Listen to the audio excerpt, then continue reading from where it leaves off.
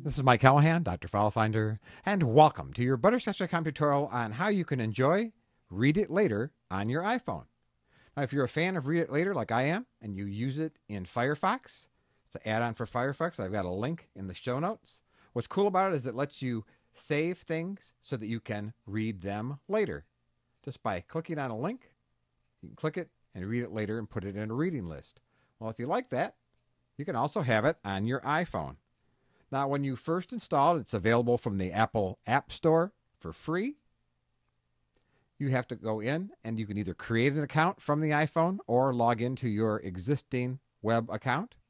Then you just want to tap on Reading List. You see, I use it to save articles that I want to read later on handy Windows tips, best freeware downloads from Microsoft. Lots of things that you can do to read. You can sort the items if you want. You can filter it using keywords and so on.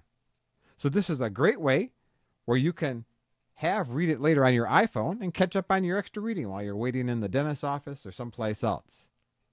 So this is using read it later on your iPhone, and that's all there is to it.